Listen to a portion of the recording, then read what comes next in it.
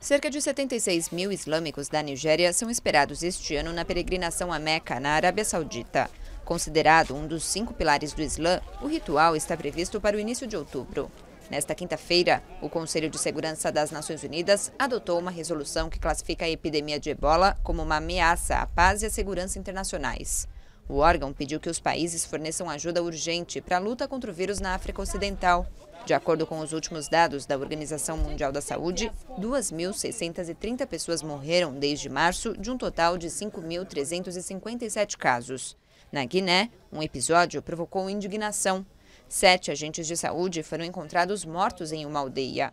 A polícia local informou que os moradores atacaram os profissionais com paus e pedras porque acreditam que o ebola é uma invenção dos brancos para matar os negros.